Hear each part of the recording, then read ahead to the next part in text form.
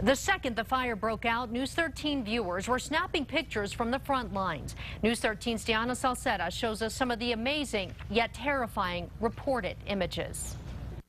The Las Conchas fire is a monster. It exploded Sunday evening, and with that, KRQE News 13 viewers started helping us capture the images.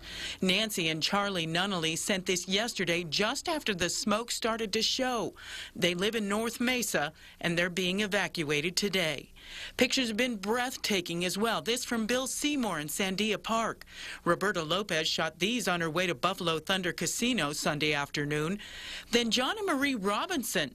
They were visiting from Maryland, where wildfires are rare. They started taking pictures around 6 p.m. in Santa Fe, then shot this one about two hours later. But those miles and miles away also got some amazing images.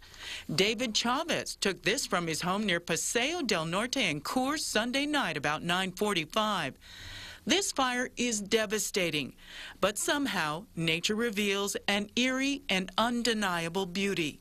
The sun rising this morning in El Dorado, masked by smoke, came from Carlos Donatelli.